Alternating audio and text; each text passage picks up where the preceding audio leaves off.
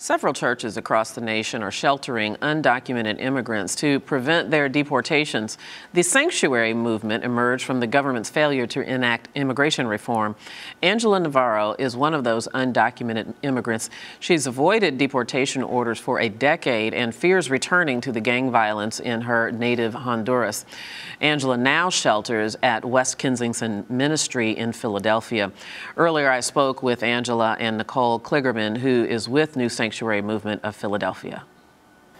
Angela, Nicole, welcome to Arise America. Thank you so much for taking a few minutes with us. I do appreciate it.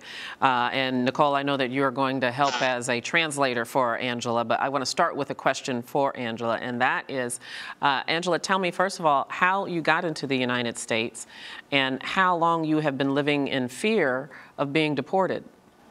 Uh, yo vine en hace 12 años cuando tenía 16 años y ese es el tiempo que tengo viviendo así con ese miedo.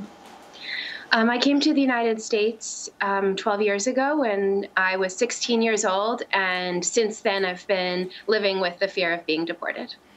And Angela, tell me how you ended up living at this church. You've been there for, I understand it, almost two months, for 50 days. How did this come about? Pues uh, se dio la oportunidad y me dijeron que podía um, pues terminar con mi orden de deportación y entonces por eso decidí venir a, a vivir aquí. Um, so the opportunity was presented to me to have a chance to fight against um, my deportation to end it, and that's why that's when I decided to enter here. And so, Nicole, let me ask you about the New Sanctuary movement. First of all, what is it? How is it even possible that someone who is here illegally can find sanctuary uh, in a church? And I'm going to throw in another question, ask you to also tell me how common is this? So, Angela is the ninth person to enter into sanctuary in the past year, the ninth person throughout the countries. And this is a civil disobedience led by immigrants and people of faith, their allies um, to say that all families deserve to be together and we're breaking the law, and that's because the law is unjust. Um, Obama has deported 1,100 people each day in the six years of his presidency.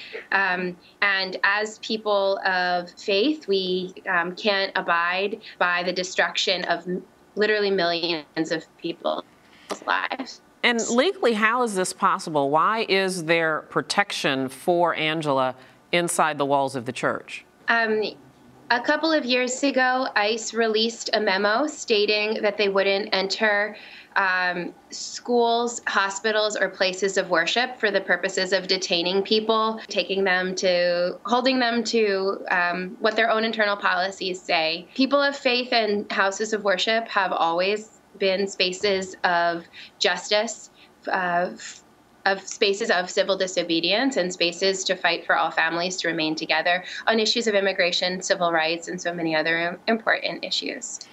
And if you, Nicole, help me ask Angela uh, how long she's willing to stay at the church. I know that she's staying there, hoping to get her deportation order overturned. And I also want to know has she worked through the traditional channels uh, to become uh, in uh, to be in this country legally? Um, pues creo que espero, espero, que no sea tanto tiempo, pero que el tiempo que sea necesario para hasta que pare mi orden de deportación. Y, y pues sí, es, eh, anteriormente no había uh, trabajado en eso para, para uh, solucionar mi problema, pero ahora pues la abogada está haciendo um, el trabajo para para lograr cancelar la, la deportación y algo Well, I'm willing to be here um, until my final order of deportation is removed.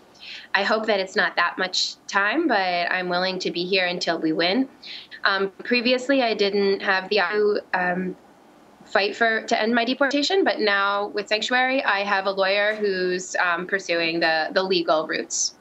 Nicole, let me ask you, haven't the new reforms that President Obama put into place uh, through executive action, uh, don't they work for Angela? I mean, as I understand it, a part of uh, that initiative is to slow down the deportation process uh, for parents whose children are uh, um, American citizens, and, and I know Angela's are. So, uh, is she in that much jeopardy in light of what President Obama has just recently done?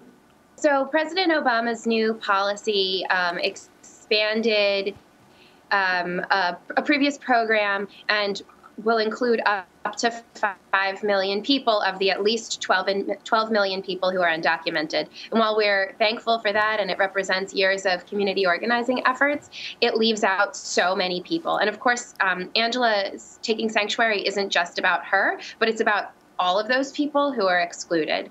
So um, Angela will be eligible to apply for this um, deferred action for parents of Americans, which is what you're referring to. But that's not only that's only until May, and it's not certain that she would be approved. Finally, and anyway, that program is a is a temporary status. Um, that could be revoked at any time. And what we're seeking for her is a pathway to citizenship, which isn't included in Obama's program. Uh, Angela, there are quite a number of U.S. citizens who uh, have very strong feelings about immigrants that are here in this country illegally.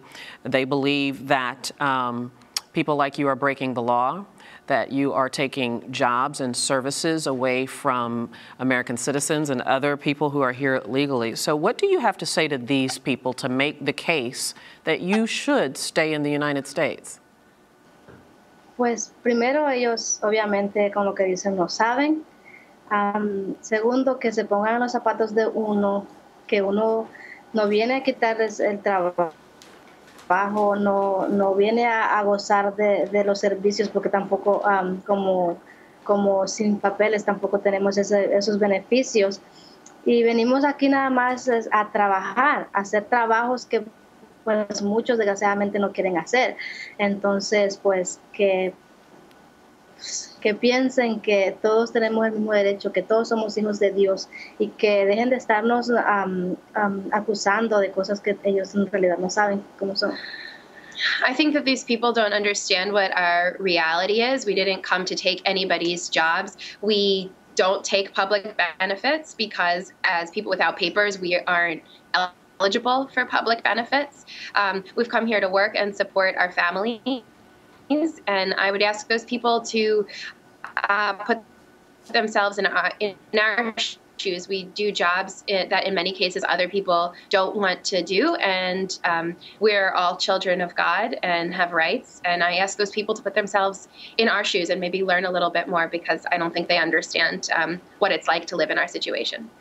Angela Navarro, uh, Nicole Kligerman, thank you both very much for your time. I wish you all the best.